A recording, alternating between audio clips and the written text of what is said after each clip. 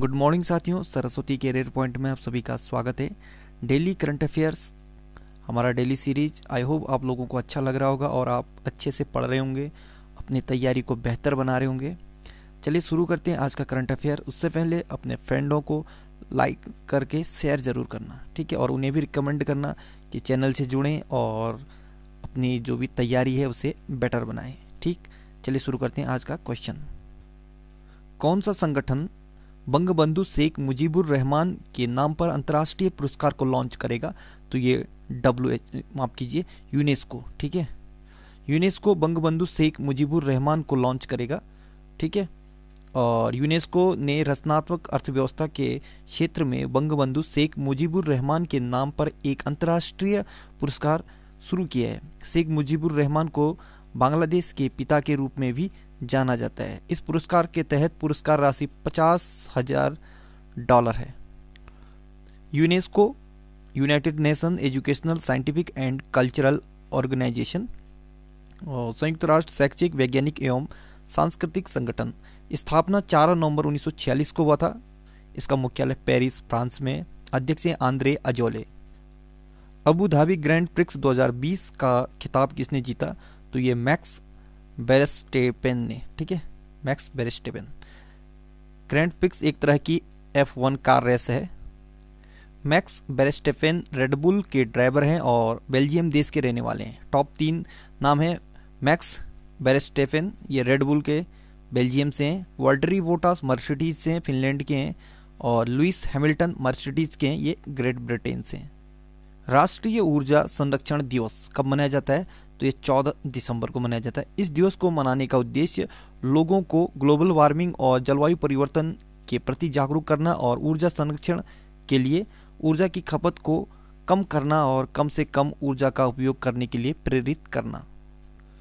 Social entrepreneur of the year 2020 से किसे सम्मानित किया गया है? तो ये अशरफ पटेल को। ठीक, social entrepreneur of the year award उन उद्यमियों को पहचानता है जो भारत की सामाजिक समस्याओं को हल करने के लिए अभिनव टिकाऊ और स्केवेबल समाधानों को लागू करते हैं और अशरफ पटेल को भारत में सामाजिक नवाचार को बढ़ावा देने के लिए इंटरप्रेन्योर ऑफ़ द ईयर 2020 से सम्मानित किया गया है। संसद हमले की उन्नीसवीं वर्षी पर the Shaurya unbound the Shaurya unbound पुस्तक लॉन्च हुई है। ठीक है, पुस्तक का नाम है द शौर्य अनबाउंड। ठीक है तो ये किसने लिखी है? तो ये इसे लिखा है नीतू और बी एस दिनाकरन ने। ठीक है, तेरह दिसंबर 2020 को लोकसभा अध्यक्ष ओम बिरला ने भारतीय संसद पर हमले की।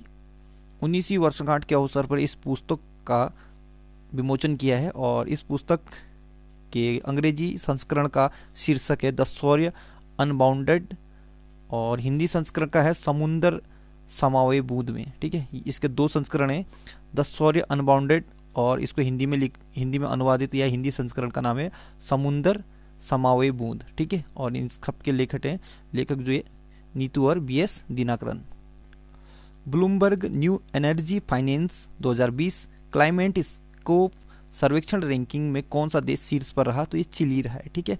टॉप तीन देशों का नाम देखो तो चिली पहला, भारत दूसरा और ब्राज़ील तीसरा। थल सेना अध्यक्ष जनरल मनोज मुकुंद नरवाने को सऊदी अरब सेना ने गार्ड ऑफ़ ऑनर सम्मान से सम्मानित किया है। सऊदी अरब के सेना प्रमुख का नाम क्या है? तो ये जनरल फयाज बिन हामिद। वैश्विक घर मूल्य सूचकांक 2020 में कौन सा देश शीर्ष पर रहा है? तो ये रहा है तुर्की। यह रैंकिंग किसी भी देश के आवासीय परिसंपत्तियों की कीमतों के आधार पर की जाती है। ठीक है? टॉप तीन देश हैं, तुर्की न्यूजीलैंड और लग्जमबर्ग भारत चौवनवे स्थान पर है। ठीक है? जारी करता है नाइट फ्रैंक संस्था। किस राज्य के मुख्यमंत्री ने खाद बनाने की मशीन भूश्री और मृदा परीक्षण उपकरण, भूमित्र का अनावरण किया है? तो ये कर्नाटक के। ठीक?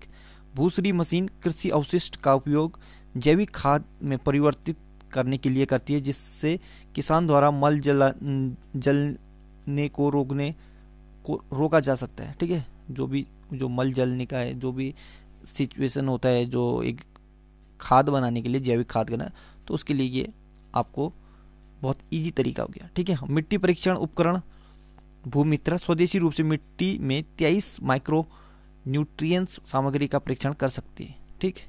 जैसे कि आमतौर पर प्रयोगशालाओं को नमूना का परीक्षण करने में एक सप्ताह का समय लगता है, लेकिन भूमित्रा तुरंत परिणाम कर्नाटक राजधानी बंगलुरु, मुख्यमंत्री B S Yediyurappa BJP party से गवर्नर बजूभाई वाला, इसरो का मुख्यालय बेंगलुरु, कर्नाटक में, और इसके मुख्य न्यायाधीश हैं अजय श्रीनिवासन ओका लोकसभा के 28 राज्यसभा के 12 और विधानसभा के 224 सीटें हैं।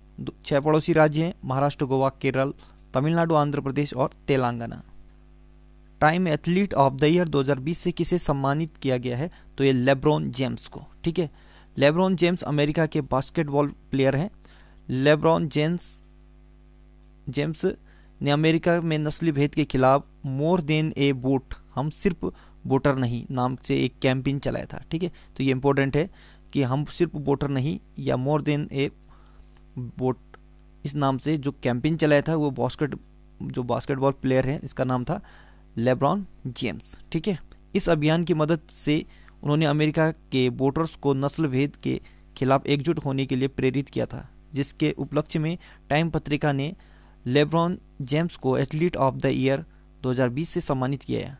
Time person of the year 2020 से जो बाइडेन और कमला हैरिस, ये भी अमेरिका के राष्ट्रपति और उपराष्ट्रपति हैं, और Time business of the year Time businessman या बिज़नेस ऑफ़ द ईयर 2020 से यह एरिक युआन को सम्मानित किया गया है।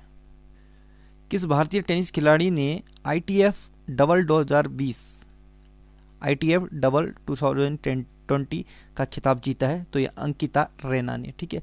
भारतीय टेनिस खिलाड़ी अंकिता रैना ने दुबई में एकातेरिन गोरगोडेज के साथ संयुक्त रूप से अल हैव टूर टेनिस चैंपियनशिप को जीतकर आईटीएफ डबल्स 2020 खिताब जीता है। अल हैव टूर टेनिस चैलेंज संयुक्त अरब अमीरात में सालाना आयोजित होने वाले आईटीएफ महिला विश्व टेनिस टूर का हिस्सा है।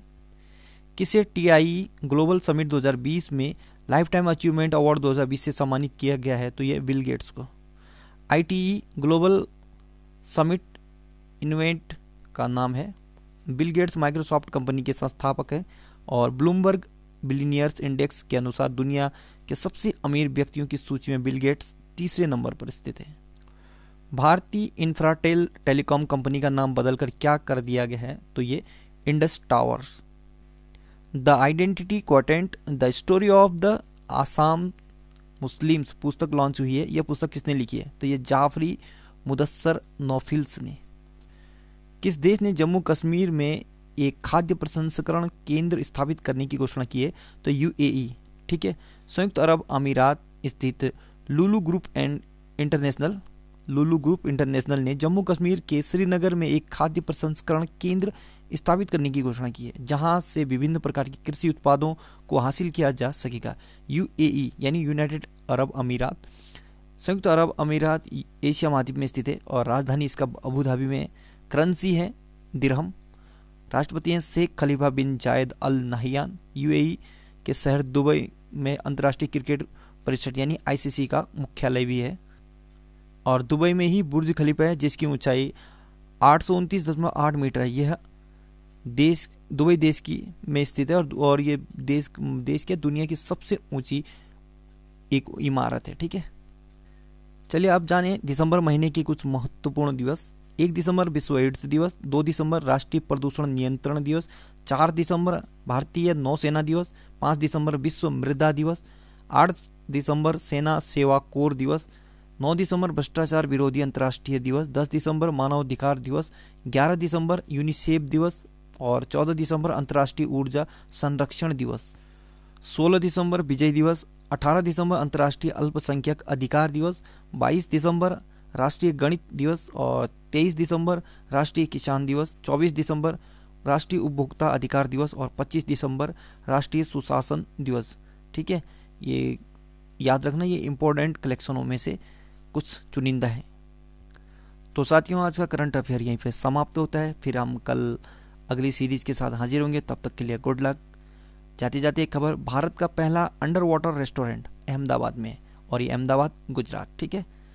So good luck have a nice day आपका दिन शुभ हो।